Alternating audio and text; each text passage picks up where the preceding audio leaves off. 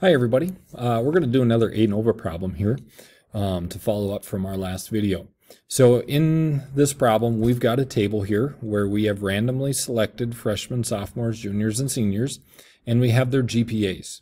And the question is, at a 5% level of significance, can we conclude that there's a difference in the means of the GPAs? Um, we're going to make a couple assumptions here that the GPAs are normally distributed and that their variances are equal. So uh, let's just kind of rehash through everything. Let's make sure that we start with our conditions. And let's look back and see what our conditions are again. Our conditions are each sample must be randomly selected from a normally distributed population. Okay, we have that. Samples must be independent of each other. Well, are they independent here? Well, what do we have? Freshman, sophomore, junior, senior. Is a freshman's GPA going to have any impact on a sophomore's GPA? The answer to that, of course, would be no. So they are independent, and each population must have the same variance. I said that is one of the assumptions that we have in this problem. So our conditions are met. Um, I'm going to save a little time and not write them down. I'll just put check, check, check. We got them all. Okay, so now what? Well, if we go back to our last problem, there's a bunch of things that we calculated for each group. And I'm going to just label these as freshmen 1, sophomores 2, juniors 3, seniors 4. And we're going to just put those in our calculator and, and calculate uh, and get that information that we need. I'm not going to do it on my computer. Uh, I'm going to do it on, on this calculator here so I can be a lot faster for you guys. If you want to pause, um, the video and put these into your own list and do the same thing I'm doing, you're welcome to do that. Or if you just want to follow along, totally up to you. So um, I have already put in the information here. So on my calculator, I'm going to go calculate one variable statistics. I'm going to start for list one, which is our freshman. And we're going to get some information here. So X bar one 2.69. The sum of the x's, and we need to know that number, 18.86. We need to know the standard deviation, well, actually squared, right? If we go back and we take a look at what we need, oops, I think I went past it. We need the variance, not the standard deviation. So what I'll do is I'll write down this number here for the standard deviation at 0.469 and then I'll square that in just a second and we also need our sample size here which is 7 so before I forget that I'm going to take 0.469 square it 2.1 uh, 2.20 would be our variance. So that's the information I need needed from our freshmen. I need the same thing from our sophomores, juniors, and seniors. So what I'll do now is I'll go stat calculate one variable statistics. I'm going to switch it to list two and I'm going to calculate it. I see it here on my calculator. What I'm going to do now is I'm going to pause my video and I'll just write in the rest for sophomores, juniors, and seniors finding the same information. All right, so I've got that done now for all four groups. Um, just taking a look and trying to use a little bit of intuition here. Uh, I think that that this might come back as, as we're going to reject the null hypothesis that they're all the same. Um, this one is particularly lower, although, I mean, there's quite a bit of variation here, so I'm, I'm not sure, but I'm, I'm leaning towards possibly uh, rejecting the null hypothesis, and we should probably write that down since we haven't done that yet. Um, our null hypothesis is that all four means are the same. The population mean from 1 is the same from 2, same for 3, and same for 4.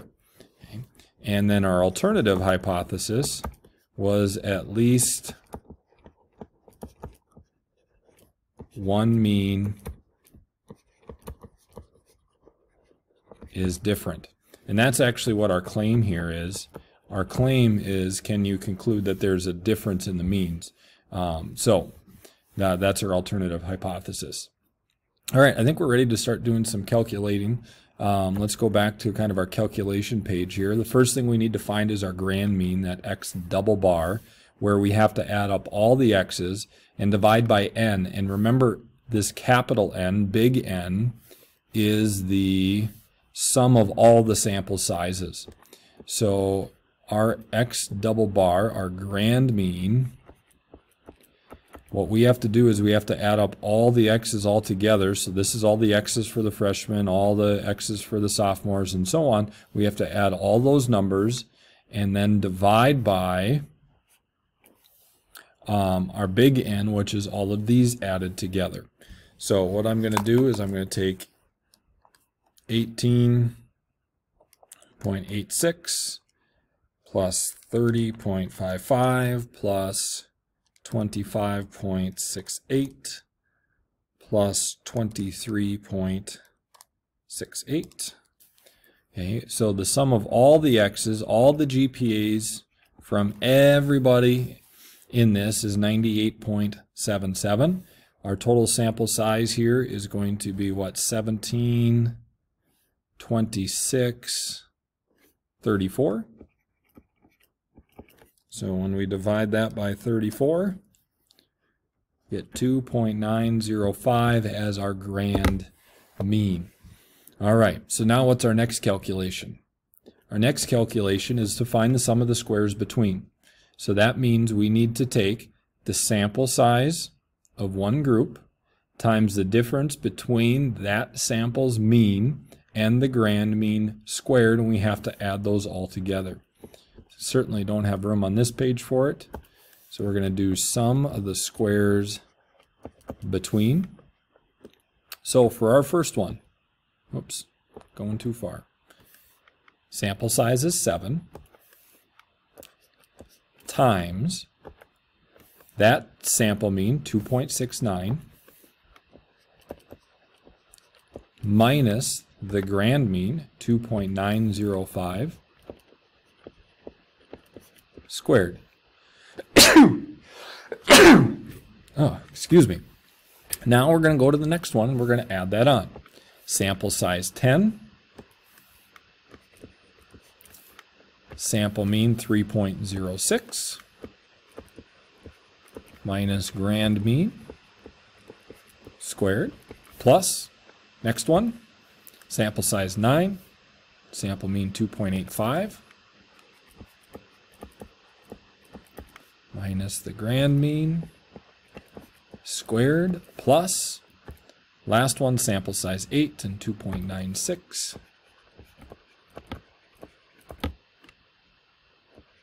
oops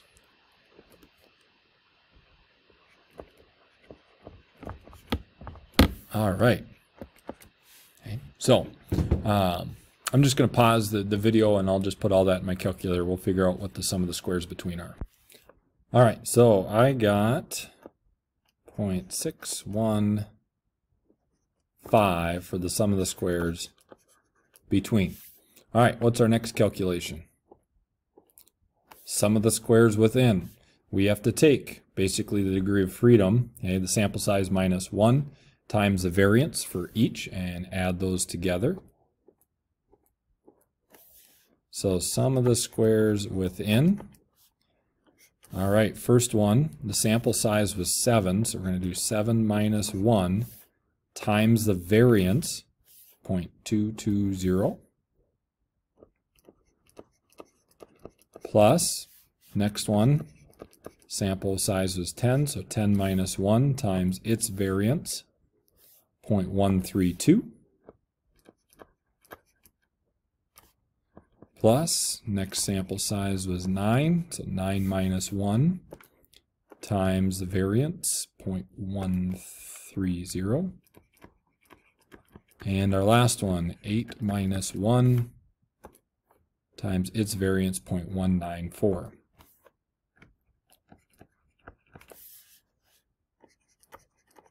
All right, I'll pause the video while I calculate that.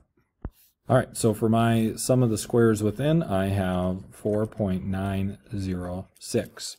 All right, what's our next calculation? Okay. variance between the samples, the mean squares between, is the sum of the squares between over the degrees of freedom of the numerator. Now, how do we get the degrees of freedom of the numerator? We haven't done that yet. Remember, the degrees of freedom of the numerator is the number of samples minus 1. So, degrees of freedom for the numerator is the number of samples, which is 4, minus 1. So the degrees of freedom of the numerator is 3. How about the degrees of freedom for the denominator? Is the sum of the sample sizes, our big N, which we've already found, minus the number of samples. So remember our big N on this one is 34. I didn't I guess I didn't write that down, but it's right there. 34 minus how many samples? 4 gives us degrees of freedom for the denominator is 30. So again, our next calculation, mean squares between, sum of the squares between over degrees of freedom of the numerator.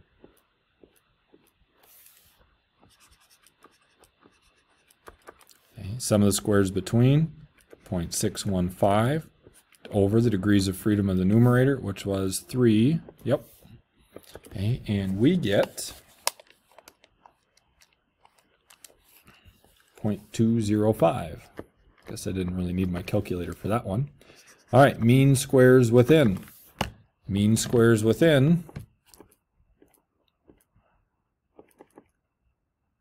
Right here, sum of the squares within over degrees of freedom of the denominator.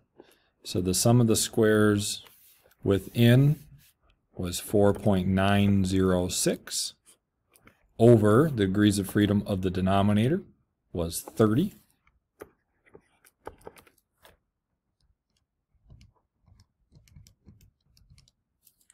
I get 0.164. Finally, okay, we are to our test statistic. Remember, this is an F distribution, and it's the mean squares between over the mean squares within. Okay, so mean squares between 0.205 over mean squares within 0.164 gives us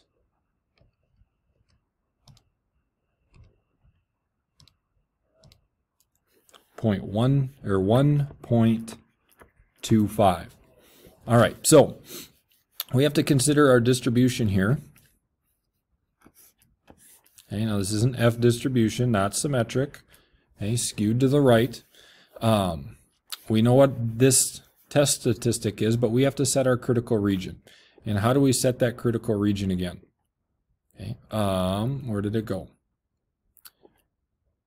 All right, so our level of significance for this one is 0.05. And that's from right here. We have the degrees of freedom of the numerator and the denominator with that level of significance. So remember, this is an F distribution. So we're going to have to go to the back of our book. Make sure that you choose the correct table, which is determined by the level of significance again. So I'm going to go to the um,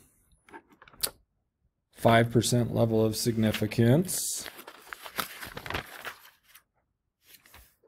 Here we go. I'm on page A23. The degrees of freedom of the numerator is 3, so I find that across the top. And then I go all the way down to 30, and I see 2.92. So our critical F value 2.92. So sets that region right there. Our critical F value. Our test statistic is not in there. Okay, so what does this mean for us? We fail to reject the null hypothesis.